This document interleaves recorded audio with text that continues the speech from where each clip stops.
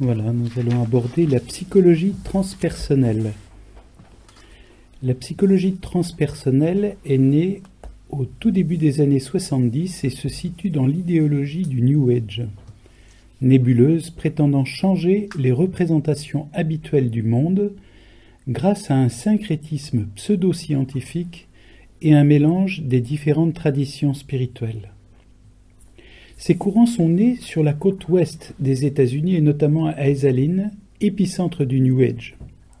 Abraham Maslow, cofondateur de la psychologie humaniste, et Stanislav Grof, fondateur de la respiration holotropique avec son épouse professeur de yoga, en sont les fondateurs et les maîtres à penser. Ils se recommandent tous les deux de Carl Gustav Jung.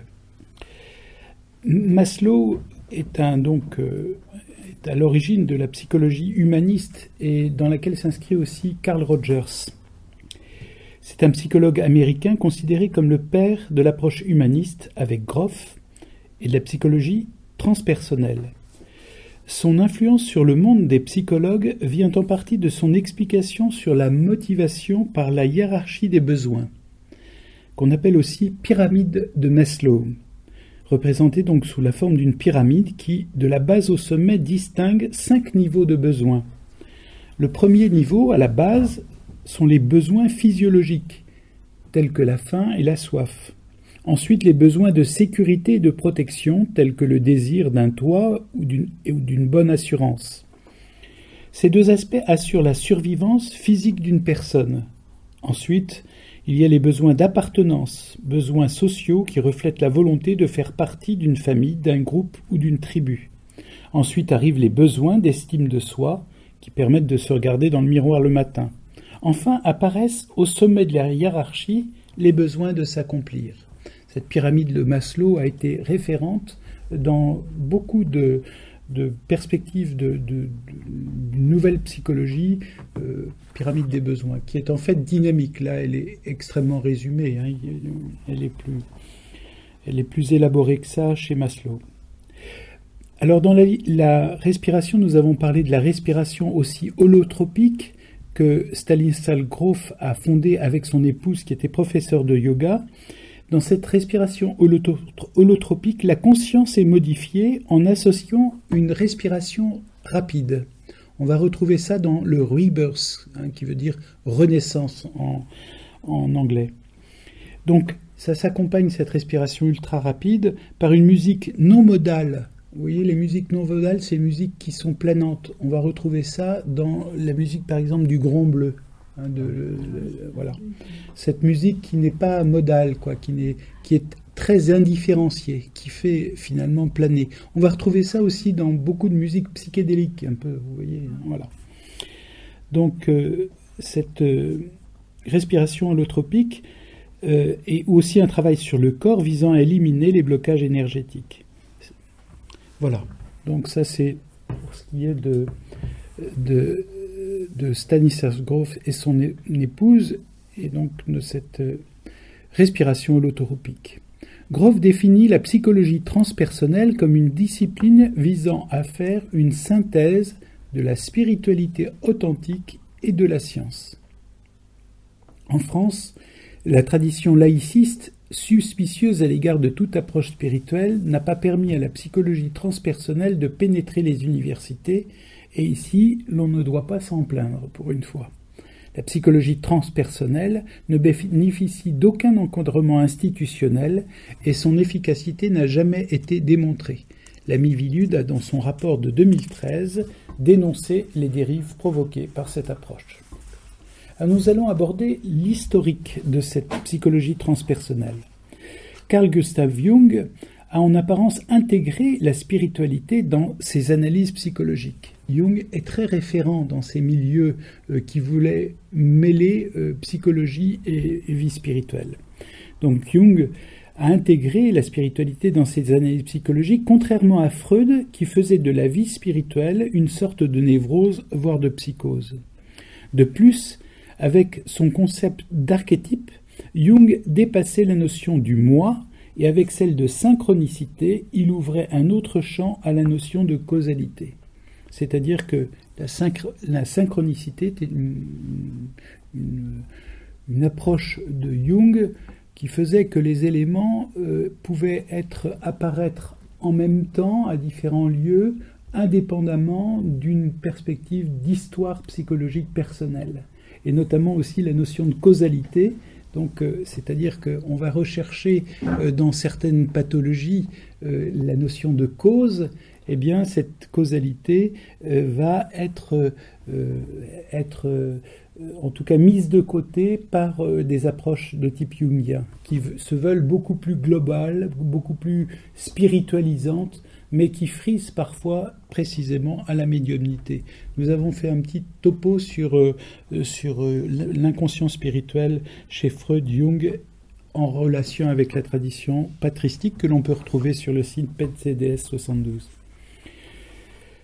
En 1971, Stanislav Grof est un psychiatre tchécoslovaque vivant aux États-Unis depuis 1967. Il fonde l'International Transpersonal Association et devient professeur à l'Institut Iselin de Big Sur en Californie de 1973 à 1987. Il travaille sur les états non ordinaires de conscience, notamment en faisant prendre à des cobayes étudiants du LSD et autres drogues pour observer leurs effets sur les modifications des états de conscience. Il y a un certain nombre de, de, groupes, hein, Grateful Dead, etc., hein, à cette époque-là, qui ont été euh, dans ces logiques hein, de prendre des LSD et de faire des musiques tout à fait particulières.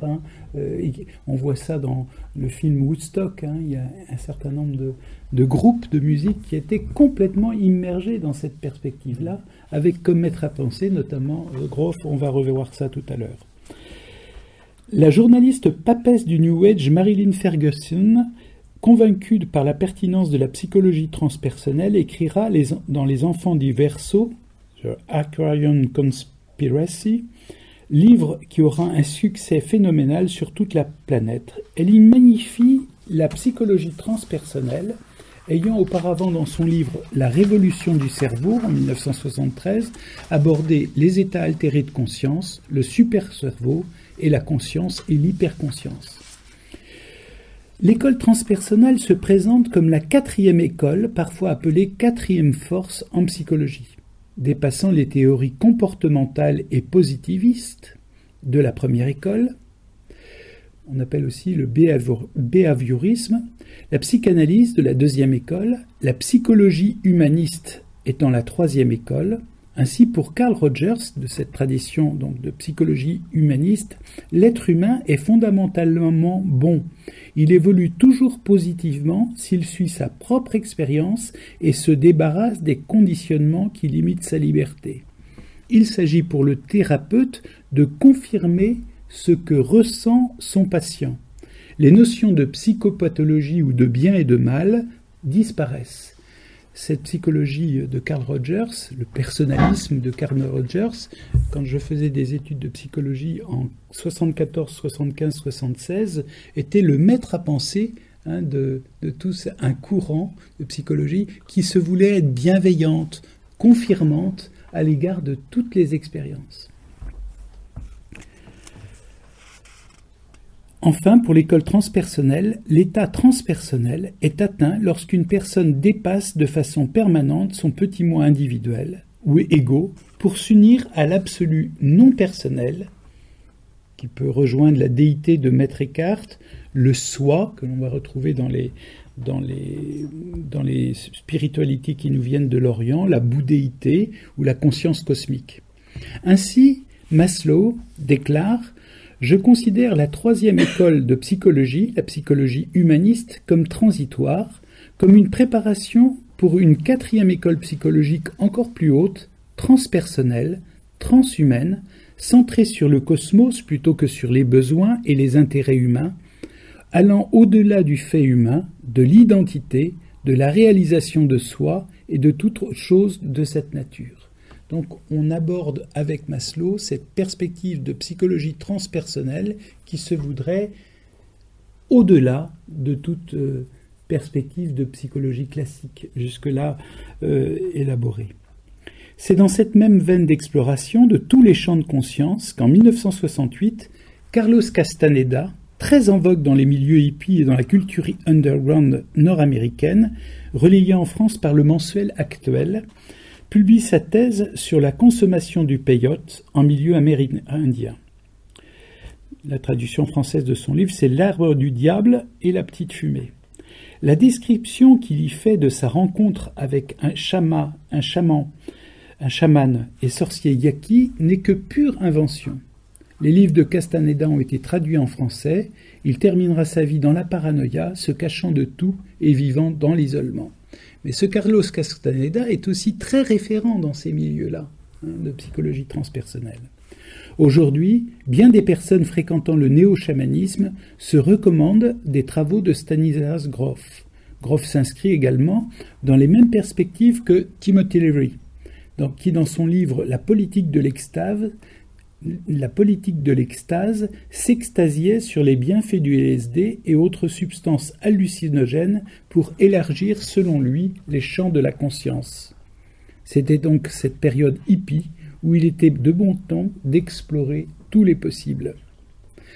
Alan Gisberg, qui a écrit Sur la route, Aldous Huxley, l'auteur du meilleur du monde, on le connaît très particulièrement pour son livre Le meilleur des mondes, mais il a écrit aussi d'autres bouquins, notamment Les portes de la perception, où il décrit précisément ses expériences euh, sous LSD.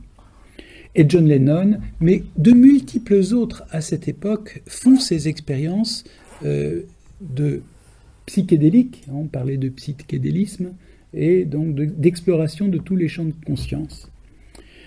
Ils étaient donc avec euh, euh, donc euh, John Lennon, euh, Alan étaient avec Larry et Groff les chantres de cette prétendue liberté de conscience et de son expansion par tous les moyens. Ces chefs de file parlaient non pas d'expérience psychologique, mais d'expérience spirituelle. Ils comparaient leur expérience provoquée par leur drogue à des expériences mystiques tels que peuvent en avoir des praticiens de techniques yogi ou de méditation orientale ou encore de rituels chamaniques. Ces drogues sont appelées aujourd'hui substances antéogènes, de théos, Dieu, en N à l'intérieur, donc c'est-à-dire censées, ces drogues censées engendrer l'expérience de Dieu en soi. Deux médecins français ont, entre autres pris le relais de ces perspectives-là, le docteur Mabit et le docteur Mouret, en organisant des voyages d'initiation chamanique. C'est toujours d'actualité. Et on peut retrouver sur le site euh, Psychothérapie Vigilance euh, une documentation particulièrement éclairée autour de ces, questions. Le transpersonnel est décrit comme une expérience et comme une expérience de type spirituel. L'expérience transpersonnelle permettrait d'accéder ou d'intégrer des états de conscience dépassant le moi, l'espace, le temps et la causalité. Par changement d'identification du sujet, le sujet se désindividualise et s'identifie momentanément à d'autres réalités que son ancien moi. Il fait éclater son moi d'une certaine manière. Il s'agit de ressentis dépassant la conscience ordinaire. Vision archétypale. La notion d'archétype est chère à Jung, les archétypes étant euh, des sortes de symboles ou de, symboles, mais euh, globaux, de symboles appartenant donc à une culture particulière et qui peut être rentré en, correspondance avec d'autres cultures. Donc les archétypes. Hein, voilà. Identification à des animaux. Là, là on retrouve euh, le chamanisme. Hein. Vous savez, comme dans l'expérience chamanique, euh, quelqu'un peut s'identifier à un animal, hein, un condor ou un, ou un, animal, euh, je sais pas, un jaguar, etc. Ou même des objets. Donc, on peut faire aussi par ces expériences-là un souvenir de vie antérieure, soi-disant, bien entendu. souvenir de la naissance, pré De fait, magnétisme et médiumnité sont les deux mamelles de cette psychologie transpersonnelle. Cette psychologie souscrit à toutes les formes d'occultisme et de chamanisme sous couvert d'une approche qui se voudrait descriptive et scientifique. De plus, très souvent, ces expériences sont induites par des drogues, peyote, datura, ayahuasca, amanite, LSD, kétamine, cannabis, etc. Ou par des techniques psychospirituelles, méditation, respiration, yoga, holotropique, certaines méthodes aussi euh, de sophrologie ou d'hypnose. Voici quelques morceaux choisis de Stanislas Grof dans son livre Psychologie transpersonnelle, une approche globale et spirituelle pour épanouir sa conscience. On va retrouver ça dans la collection J'ai lu de septembre 2009. De nombreux scientifiques et professionnels, dit-il, de santé mentale ont pris conscience du fait qu'il existe un fossé insondable entre la psychologie et la psychiatrie contemporaine et les grandes traditions spirituelles antiques ou orientales. Citons parmi celles-ci les diverses formes de yoga, le taoïsme, le bouddhisme zen, le soufisme, la kabbale ou l'alchimie. Vous voyez, tout y passe. La richesse de connaissances profondes de la psyché et de la connaissance et de la conscience humaine accumulée par ces systèmes depuis des siècles, voire des millénaires, n'a été ni appréciée à sa juste valeur, ni étudiée, ni intégrée par la science occidentale. On retrouve ça dans le livre de Gross, Psychologie transpersonnelle, page 20. Pour Groff, Léry ou Huxley et bien d'autres penseurs de cette lignée, les religions instituées ont toujours cherché à réduire les capacités des hommes en limitant leur expérience pour mieux asseoir leur pouvoir. Et voici encore ce que dit Groff. Les expériences recourant à l'hypnose, à l'isolation ou à la surcharge sensorielle, au contrôle volontaire des états internes, biofeedback et à l'acupuncture ont éclairé d'un jour nouveau nombre de pratiques antiques et orientales mais elles ont engendré plus de problèmes qu'elles n'ont apporté de réponses satisfaisantes. La recherche psychédélique a clarifié d'une certaine manière de nombreuses données historiques et anthropologiques jusqu'alors troublantes concernant le chamanisme, les cultes à mystère, les rites de passage, les cérémonies de guérison et les phénomènes paranormaux résultant de l'emploi de plantes sacrées comme la yahuasca.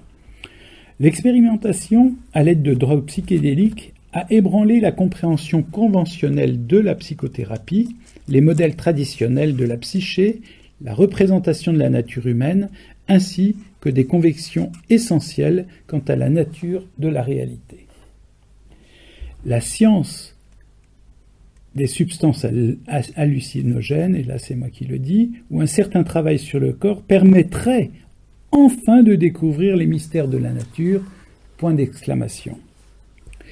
Et voici ce que dit Groff dans une interview qu'il a donnée sur le site psychologie euh, www.psychologie.com.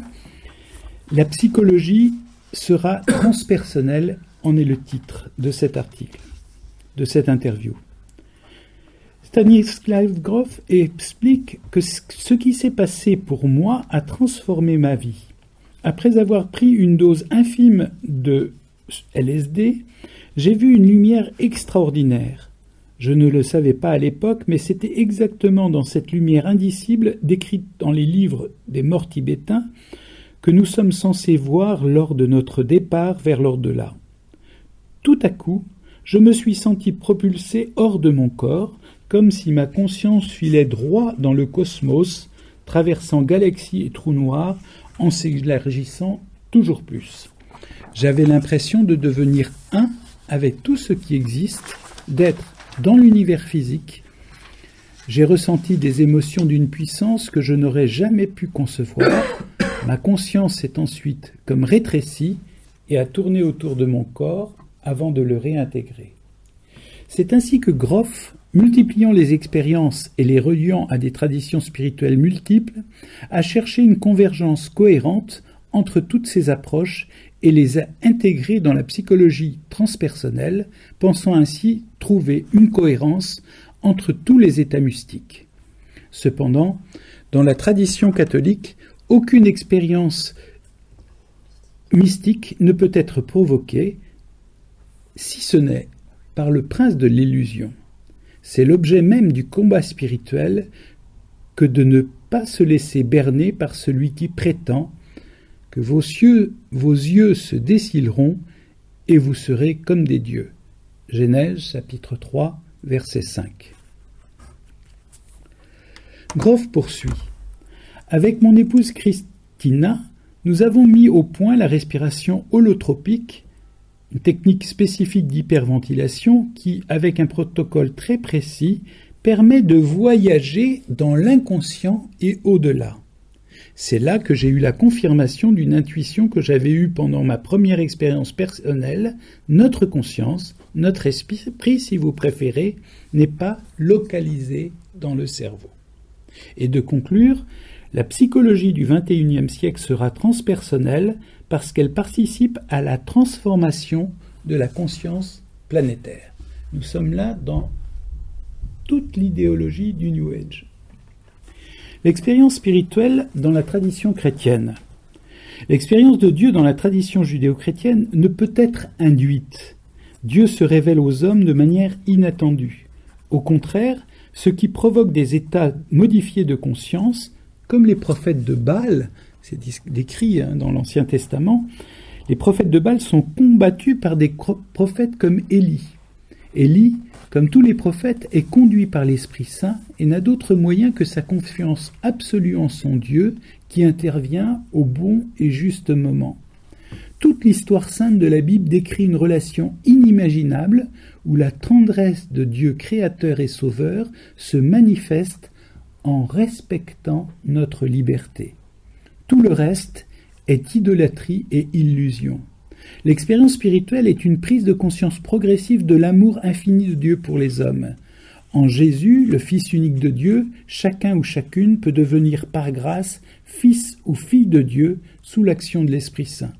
Il ne s'agit jamais, comme dans les descriptions de Groff, d'états modifiés de conscience que l'on pourrait provoquer à loisir.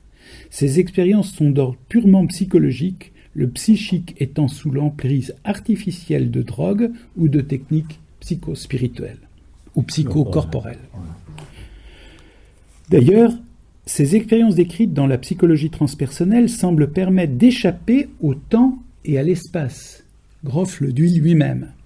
Il y a là comme un mystère de désincarnation, alors que les chrétiens sont invités à contempler et à méditer le mystère de l'incarnation. Tout Dieu qu'il est, le Christ se fait homme et on accepte toutes les limites et les contingences. Alors il est souvent aussi fait appel à la notion de physique quantique. Alors là, je suis référent à deux, chercheurs du CNRS absolument remarquables que j'ai eu l'occasion de rencontrer euh, lors du congrès euh, à, du GEMPI à Marseille en octobre dernier et qui nous a fait une analyse tout à fait intéressante sur ce qu'est la, physique quantique, récupérée aujourd'hui par toutes ces méthodes euh, pseudo-scientifiques, parce qu'elles ne sont scientifiques que, vraiment euh, pseudo, hein. c'est-à-dire qu'elles elles, prennent des termes euh, qui appartiennent effectivement à la physique quantique, mais ce sont deux champs totalement différent et c'est véritablement euh, de, la supercherie de faire s'entrecroiser les domaines de la médecine et ou de la psychologie avec cette physique quantique. Donc ces deux chercheurs absolument remarquables sont Bertrand Jordan, directeur de recherche au CNRS, biologiste moléculaire, docteur de physique des particules, et de Christophe Delaroche-Saint-André, chercheur au CNRS lui-même, et qui ont fait un exposé sur la médecine quantique, approche innovante ou imposture, mes usages des termes, bioénergie quantique. Donc vous pouvez retrouver ça sur le site du GEMPI. L'appel à la physique quantique est un grand classique de ces conceptions mystico-psychiques pour tenter de donner un vernis scientifique à ces élucubrations. La physique quantique a un domaine propre et le mélange de la psyché avec celui-ci ne fait qu'ajouter à la confusion car ils n'ont strictement rien à voir. La confusion est double ici entre psychologique et spirituel, entre physique et psychologique. Cela n'empêche en rien Groff de prétendre, on remarque avec intérêt que nombre de physicien moderne, familier de la physique quantique relativiste, montre en général un intérêt de plus en plus grand pour les phénomènes paranormaux, contrairement à la majorité des psychiatres et des psychologues traditionnels. Il convient également de mentionner, à cet égard, les données fascinantes revenant du champ de la thanatologie, c'est-à-dire de cette euh, approche euh, des, personnes qui vont mourir, qui suggère que des individus décédés, sur le plan clinique, reçoivent souvent avec précision les événements se déroulant à leur proximité et ce, d'une position qui ne leur serait pas accessible dans un état conscient. On a tous les livres du, père du, du docteur Moody derrière ça, et il y a toute une littérature hein, dont tu avais parlé, je crois, mm. à un moment. Psychologie périnatale et psychologie transpersonnelle. Alors ça, ça nous intéresse plus particulièrement parce qu'on va voir combien cette psychologie périnatale et psychologie transpersonnelle vont imprimer un certain nombre de nouvelle thérapie aujourd'hui avec tous les risques que, cela peut comporter. Stanislas, Stanislas distingue dans la psyché trois niveaux, trois plans de l'inconscient. Le premier niveau, le biographique, et l'inconscient individuel découvert par Freud. Le deuxième niveau, le domaine périnatal découvert par Otto Rank en 1924 rattaché aux expériences de naissance et de mort. Enfin, le troisième niveau, transpersonnel, le domaine transpersonnel, qui concerne les états non, ordinaires de conscience et l'inconscient collectif, que l'on peut aussi, dont on, on, a dit un mot tout à l'heure, découvert par Jung avec sa notion d'archétype. Ces deux derniers domaines forment le transbiographique. Et je cite donc euh, Stanislas Grof, à la page 40 de son livre sur la psychologie transpersonnelle, un autre groupe important d'expériences transpersonnelles fait intervenir la télépathie, le diagnostic psychique, la clairvoyance, la clairaudience, la prémonition, la psychométrie, les expériences hors du corps, les voyages dans l'espace et d'autres phénomènes paranormaux, Certains se caractérisent par la transcendance des limites temporelles ordinaires, d'autres par la transcendance des barrières spatiales, ou encore par la combinaison des deux. Nous sommes effectivement là, en pleine médiumnité, que l'Église, en sa sagesse, à la suite des Écritures saintes, a toujours condamné. Cependant, il est curieux de constater que ces approches psychologiques s'intéressant à la période prénatale et postnatale sont la plupart du temps utilisés par des thérapeutes sans compétences réelles à la recherche d'une clientèle facile ayant des moyens financiers. D'abord aux États-Unis puis en Europe occidentale, ces approches ont entraîné nombre de dérives. C'est ainsi que de nombreuses thérapies nouvelles souscrivent à ces approches mêlant magnétisme ou médiumnité à la recherche du traumatisme ou de la blessure initiale. Cette prolifération de nouvelles thérapies sans contrôle ont engendré notamment ce que l'on appelle des faux souvenirs induits, remarquablement décrit par Elisabeth Loftus dans son livre Le syndrome des faux souvenirs, ayant pour sous-titre Ces psys qui manipulent la mémoire. La kinésiologie, la psychophanie, la sophrologie, l'hypnose, une certaine ostéopathie dite fluidique, quand il y a recherche d'un traumatisme ou d'une blessure passée, peuvent s'inscrire dans ces courants. Pascalide et ses ressources pour guérir. Pascalide, docteur en médecine, en philosophie et en théologie, membre de la communauté de l'Emmanuel, dans une approche purement livresque, sans grand discernement, décrit quelques-unes de ses méthodes dans son livre Des ressources pour guérir.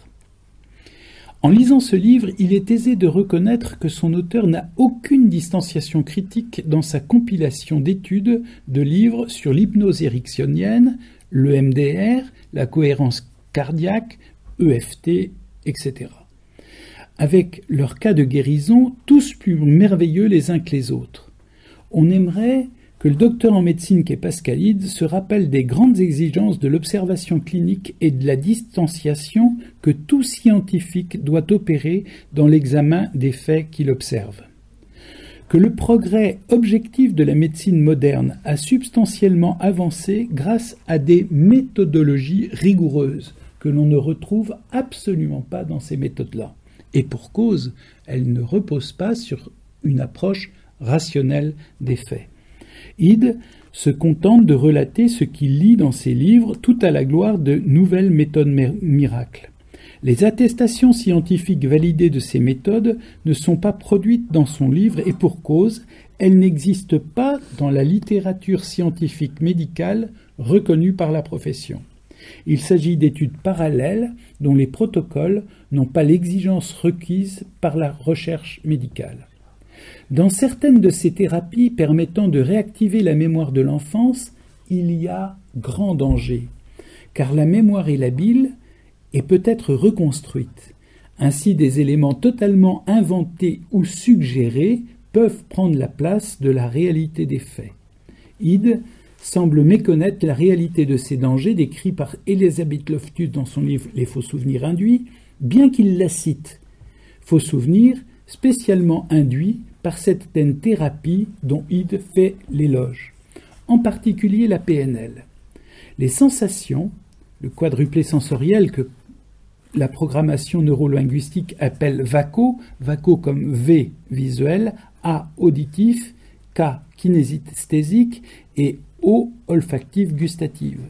Et les émotions affleurent comme si cela se passait maintenant. On, fait à travers ces méthodes de programmation neurolinguistique émerger des émotions comme si on les actualisait, si vous voulez. Or, ce vécu intense est une remémoration vivide par laquelle je me représente le passé, mais que mes besoins d'aujourd'hui et toute mon histoire influencent et remodèlent. Voir. Plus les souvenirs retrouvés sont chargés émotionnellement, plus ils drainent mon histoire et mon état actuel. Donc plus ils sont élaborés de manière inconsciente. Ces souvenirs sont donc toujours de vrais faux souvenirs, c'est-à-dire des mémoires mélangeant données et constructions, mais si cette indémêlable intrication interdit de leur accorder une valeur factuelle, ils sont d'une grande valeur psychologique et psychothérapeutique, nous dit, dit Ide à la page 118 de son livre Des ressources pour guérir. Après une période euphorique, due au miracle opéré par ces thérapies, l'heure est aujourd'hui au réalisme et à la tentative de réparation des dégâts opérés dans le remaniement de la mémoire ou de la personnalité, dégâts parfois irréversibles provoqués par ce type de pseudothérapie. Est-il naïf ou inconscient quand il prétend Nous l'avions observé pour l'énéagramme, qui est aussi une méthode tout à fait subjective et ne reposant sur aucune validité euh, scientifique ou psychologique ayant été euh, expérimentée et, de, manière euh, rigoureuse avec des protocoles rigoureux.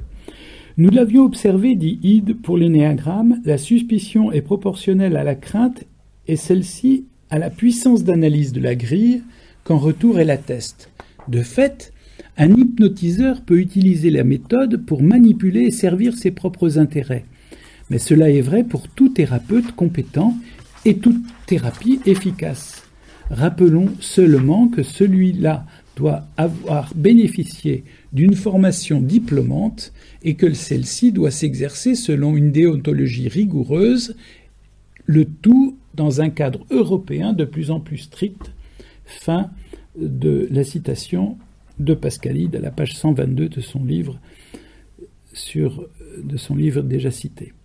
Ide ignore-t-il que la plupart des formateurs en énéagramme, PNL, sophrologie, hypnose n'ont pas d'autre diplôme que ceux délivrés par des écoles privées, que la plupart de ces praticiens contournent les normes nationales ou européennes en vigueur en changeant la présentation de ce qu'ils font pour ne pas être pénalement répréhensibles, sa citation d'Aristote, notant que, notant que l'on peut mésuser de tout, est une pirouette qui devient, après cette expertise si légère, particulièrement déplacée.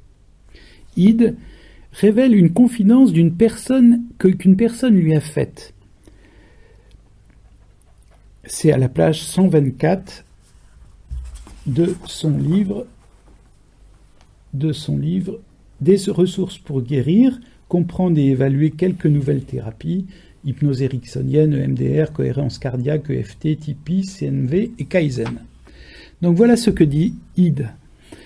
Depuis que j'ai découvert l'auto-hypnose, citant donc une personne qui lui a fait cette, cette confidence, depuis que j'ai découvert l'auto-hypnose, ma prière a changé.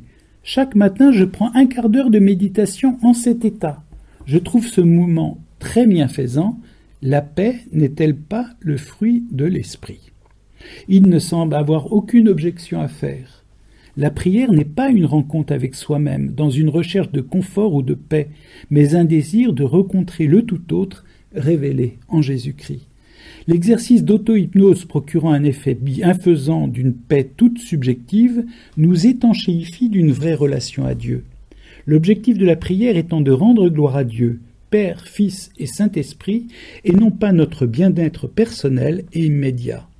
Il est dans le don de soi, pour un plus grand bonheur et non dans la consommation d'un fruit qui paraît savoureux.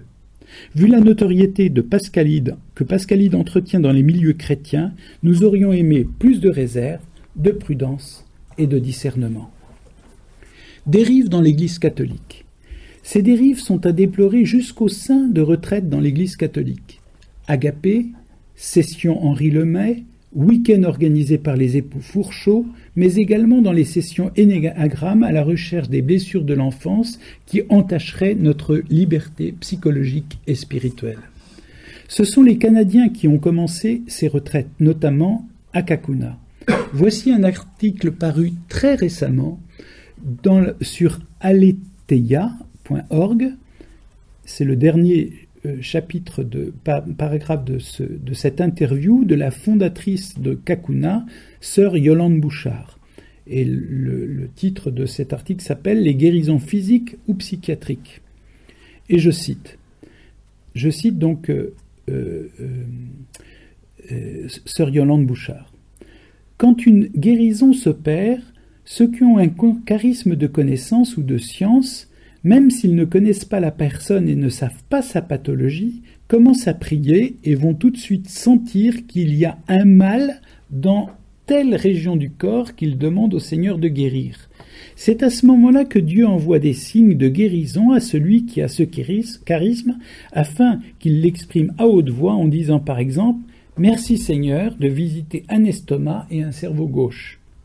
Pour un cancer de l'estomac, sœur Yolande raconte qu'elle ressent le malaise qui est dans la personne malade et, un peu avec, et peu à peu avec la prière, la partie endommagée diminue jusqu'à disparaître totalement. Ou pour une scoliose, sœur Yolande va la sentir dans son corps comme si on déplaçait sa colonne, alors que la sienne va très bien. Puis, tout à coup, elle sent que tout se redresse et que c'est guéri le priant qui exerce un charisme sans l'action du Seigneur dans la personne qui est visitée en train d'être guérie. Mais il est toujours expressément demandé aux participants de ne jamais cesser une médication, de même en cas, une médication en cas de guérison. S'ils ont, s'ils ont un traitement, il faut qu'il soit contrôlé par le médecin. L'usage de la raison ici, et c'est moi qui cite, passe à la trappe. Ce dernier chapitre est une illustration fidèle d'une séance de médiumnité. On peut vraiment avoir exactement ce même euh, type de, témoignage de médiums qui vont ressentir l'endroit pathologique euh, d'une personne qui vient les consulter, hein, à l'intérieur même de leur propre corps. Où est, le, où est la distanciation entre vraiment quelque chose qui vient de l'Esprit Saint et quelque chose qui est de l'ordre de la médiumnité et d'une certaine manière automatique? Ce dossier est loin d'être terminé. La psychologie transpersonnelle n'a aucune rigueur épistémologique. La multiplicité des définitions dans des champs et des catégories sans limite conduit à une confusion conceptuelle fourre-tout. De plus, les définitions varient d'un auteur à l'autre, ajoutant à ce tohu-bohu de la pensée. La psychologie transpersonnelle n'est encadrée par aucune autorité en France ou à l'échelle européenne, et n'importe qui peut se proclamer thérapeute sans la moindre formation. Cela n'empêche pas que certains instituts privés proposent des formations dont le diplôme n'a aucune valeur institutionnelle. Cette psychologie transpersonnelle s'immisce dans tous les domaines, elle pénètre les méthodes de coaching personnel ou de management des entreprises. Mais sournoisement, dans l'Église catholique, l'accompagnant spirituel s'en trouve parfois imprégné. Il est à déplorer qu'il n'y ait à ce jour que très peu de critiques ou de travail de discernement approfondi, réel, autour de ces nouvelles thérapies. Nouvelles thérapies qui ne sont, qui ne sont pas si nouvelles que cela, car elles reposent sur des données que l'Église, dans sa sagesse, a déjà connues, explorées et discernées dans la vie et les écrits de ses saints et de ses docteurs qui ont eu une réelle expérience spirituelle de Dieu et du réel de la création. De tout temps, l'Église a combattu toutes les gnoses, c'est-à-dire ces connaissances nées d'initiation et non d'un savoir rationnel et de l'intelligence de la foi. Lisons Saint Jean de la Croix au chapitre 21 de la montée au Carmel. Je cite Des spirituels qui approuvent la curiosité dont usent quelques personnes en cherchant à connaître certaines choses par voie surnaturelle, ces personnes s'imaginent que Dieu, répondant quelquefois à leur interrogation, c'est une indication que cette manière de faire est bonne et qu'elle plaît à Dieu. La vérité est que bien que Dieu réponde, le procédé est répréhensible et ne lui plaît pas. Il lui déplaît même, et encore ce n'est pas assez de le dire. Souvent Dieu s'en irrite et s'en tient offensé. En voici la raison. Il n'est licite à aucune créature de sortir des bornes naturelles que Dieu lui a tracées tracé pour se conduire. À l'homme, il a donné des limites naturelles et raisonnables pour la conduite de sa vie. Il, n'y a donc, il ne lui est donc pas licite de chercher à les franchir. Or, s'efforcer de savoir et de connaître par voie surnaturelle, c'est sortir des limites naturelles. C'est donc chose illicite, et cela déplaît à Dieu, car tout ce qui est illicite l'offense. Donc c'est dans Saint Jean de la Croix, ses œuvres complètes. Donc sur la, euh, c'est une citation donc tirée de la montée au Carmel. L'enseignement de l'Église ne cesse de nous dire que les deux ailes de notre intelligence du réel sont la foi et la raison. Fides et ratio. Et je cite donc euh, de Jean-Paul II du 14 septembre 98, et c'en est l'entête, Fides et ratio, la foi et la raison sont comme deux ailes qui permettent à l'esprit humain de s'élever vers la contemplation de la vérité.